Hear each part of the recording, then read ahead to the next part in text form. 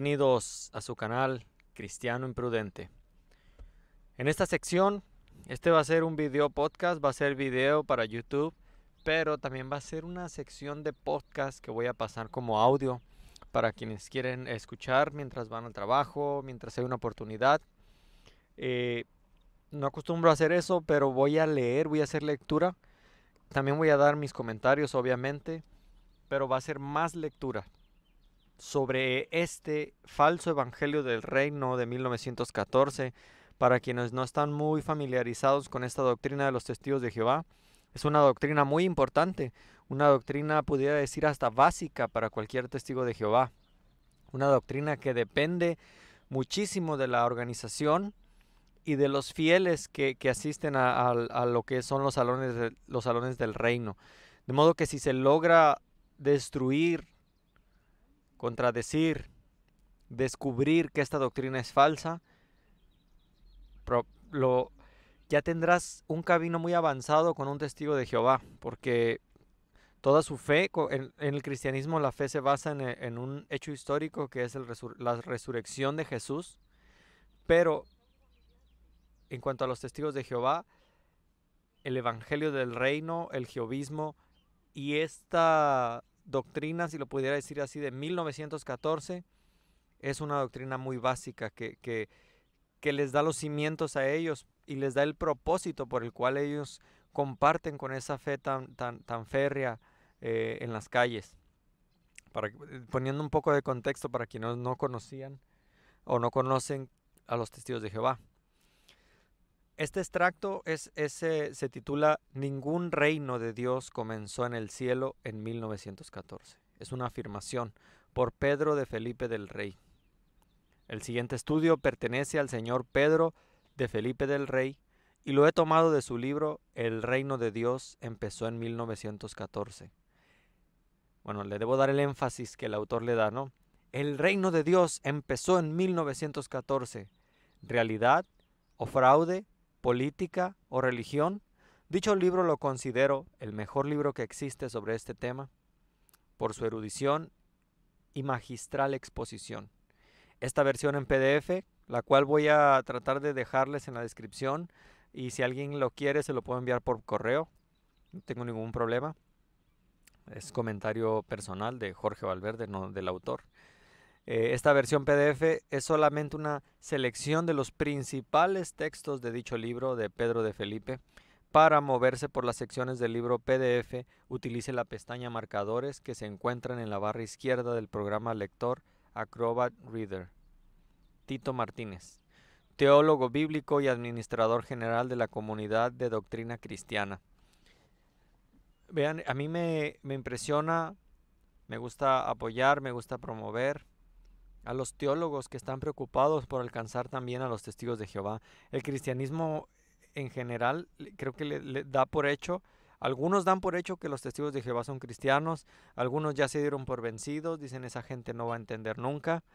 Eh, y los pocos que estamos haciendo evangelismo con los testigos de Jehová, los cuales los pocos que estamos haciendo apologética, los cuales somos pocos los que estamos buscándolos, somos criticados lastimosamente en el mundo cristiano, vistos como peleoneros, vistos como, bueno, tardaría bastante e, en, dar mi triste historia, ¿no? Mi tristemonio de, de, la crítica dura y negativa, por así decirlo, que he recibido dentro de mismos círculos cristianos. Pero yo admiro a este teólogo Tito Martínez. Deja en la descripción, en la, en, pantalla, los que están viendo por YouTube pueden ver las ligas. Trataré también de copiarlas en la descripción del video. Los que lo están viendo en podcast, la voy a dejar ahí en la descripción del podcast. Madrid, 18 de febrero de 2004. Wow. 2004, capítulo 1.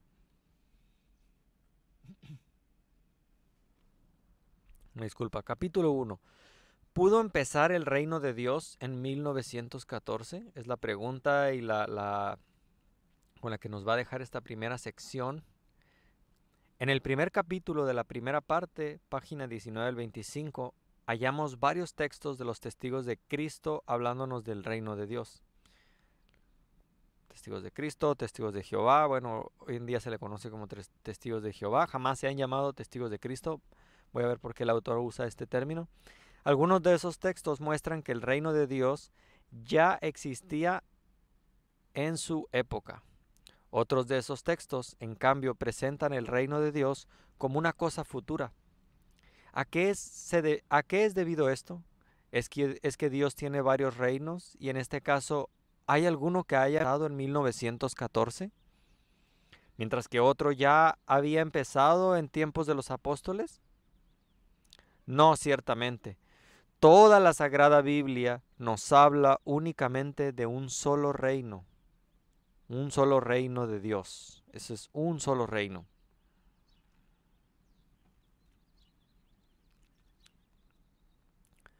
Pero ese único reino de Dios está presentado en las Sagradas Escrituras bajo dos fases bien diferentes.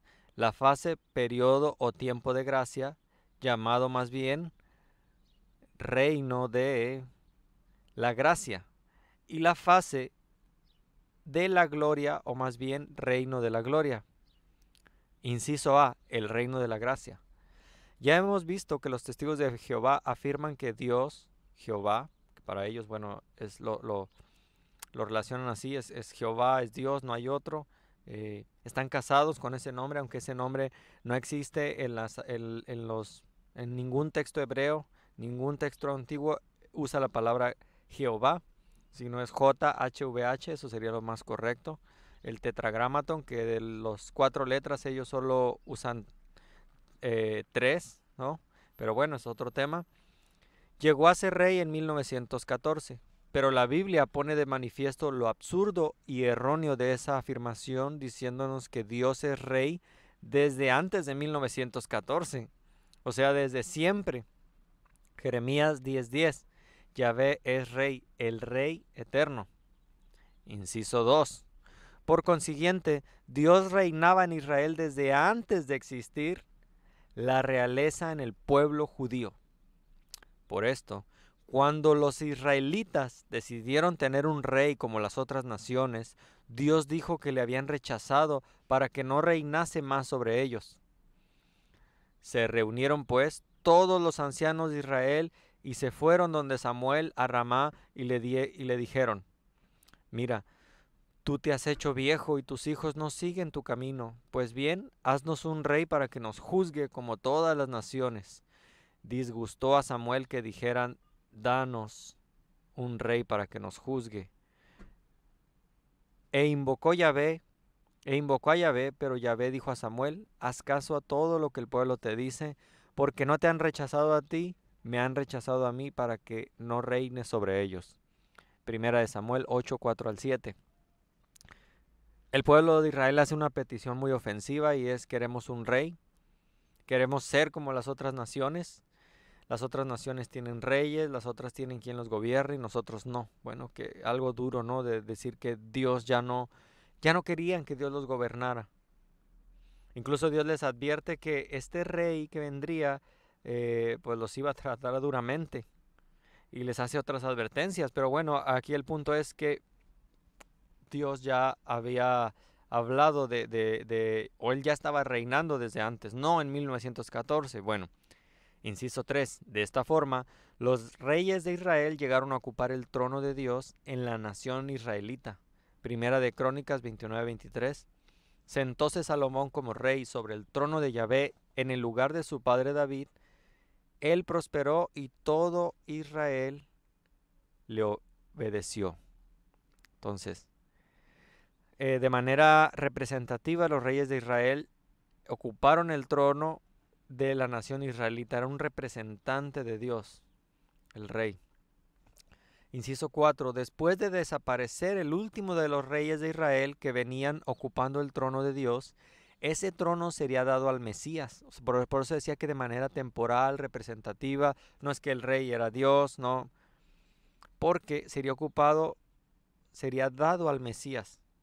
Pero de ninguna forma se precisa la fecha exacta. Ve, los, profetas anteriores, es comentario eh, de, Jorge Valverde, no, no, no, Nunca se aventuraron a dar un, año. Los testigos de Jehová dan hasta incluso un mes y un día, que obviamente no se cumplió, pero bueno. De ninguna forma se precisa la fecha exacta en que el Mesías sería entronizado para dar continuidad a esa realeza, a esa realeza de Israel. Desconozco y eh, aceptaría corrección de alguien que me diga si los adventistas del séptimo día también creen que Dios fue, que Jesús fue, entronizado hasta 1914.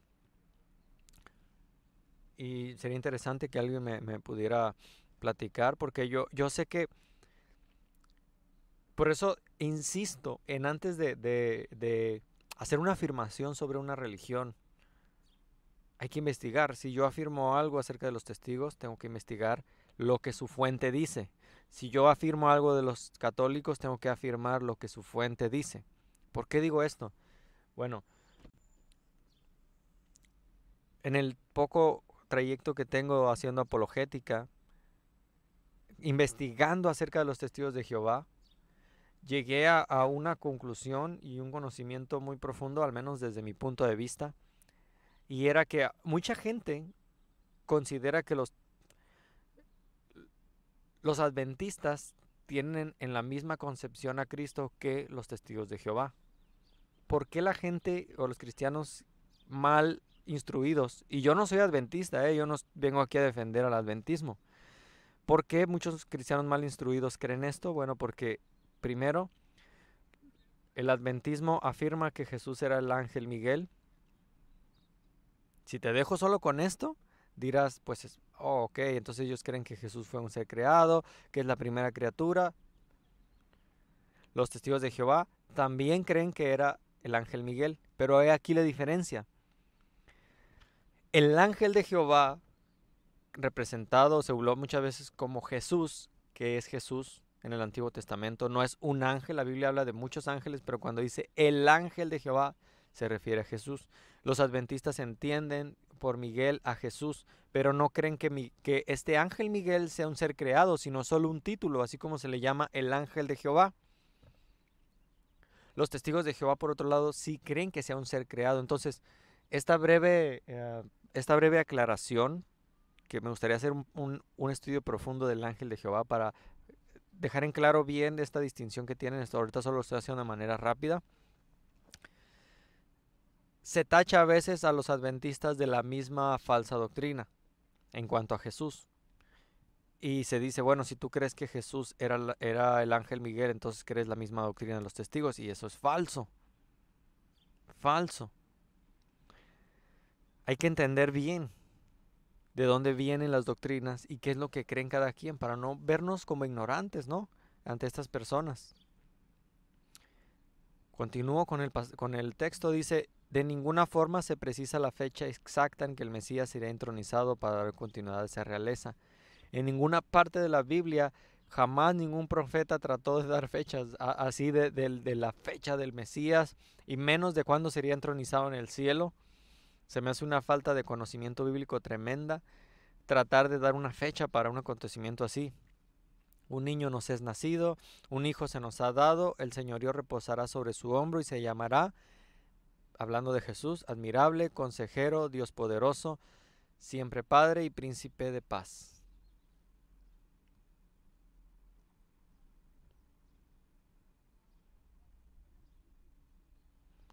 Príncipe de paz sería llamado.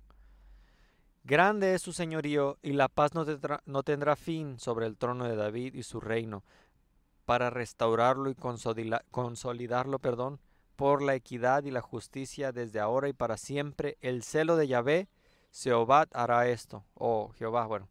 Isaías 9:5 al 6. En cuanto a ti, príncipe de Israel, vil criminal cuya hora se avecina, con el último de tus delitos, así dice el Señor, Yahvé, la tiara se quitará y se pondrá la corona. Todo, todo será transformado, lo humilde será elevado, lo elevado será humillado, ruina, ruina, ruina. Eso es lo que hará, haré con él como jamás se vio hasta que llegue aquel a quien le corresponde el juicio, a él se lo entregaré. ¿De quién, ¿A quién sería que se entregaría? Bueno, Jesús, Ezequiel 21, 30 al 32. Estamos solo sentando las bases para desmontar el jehovismo. No solo el, jehovismo, sino esta doctrina de que hasta 1914 Cristo fue que fue entronizado. Inciso 5. Antes de ser destronado, el rey Sedequías, que es el príncipe Vil a quien se refiere Ezequiel en ese pasaje, el pueblo de Dios, el pueblo de Israel, era el reino de Dios donde los hombres servían al Dios verdadero y se preparaban para la salvación. Por eso Dios quería traer a su reino de Israel a los extranjeros de las otras naciones para que los sirvieran y fueran salvos. No hay otro Dios fuera de mí, Dios justo y salvador, no hay otro fuera de mí, volveos a mí y seréis salvados con fines todos de la tierra, porque yo soy Dios y no existe ningún otro. Isaías 45, 21 al 22. Que el extranjero que se adhiera a Jehová no diga, de cierto que Yahvé no separará a su pueblo, no diga el eunuco, soy árbol seco. Pues así dice Yahvé respecto a los eunucos que guardan mis sábados y eligen aquello que me agrada y se mantienen firmes en mi alianza, yo he de darles en mi casa y en mis muros monumento y nombre mejor que hijos e hijas. Nombre eterno les daré que no, no será borrado. En cuanto a los extranjeros adheridos a Yahvé para su ministerio, para andar en el nombre de Yahvé y para ser vuestros siervos, y para ser sus siervos a todo aquel que guarde el sábado sin profanar y a los que mantienen firmes en mi alanza, yo les traeré a mi monte santo y les alegraré en mi casa de oración, sus holocaustos y sacrificios serán gratos sobre mi altar, porque mi casa será llamada casa de oración para todos los pueblos. Isaías 56, 3 al 7. Apenas hemos visto cinco incisos, pero estamos montando las bases sobre esta fecha de 1914 donde ellos suponen que Jesús fue entronizado. No te pierdas este rápido y pequeño estudio, Cristiano Imprudente. Esto es solo la introducción de la primera parte. Espero que te sea de bendición y de ayuda para conversar con testigos de Jehová. Dios te bendiga.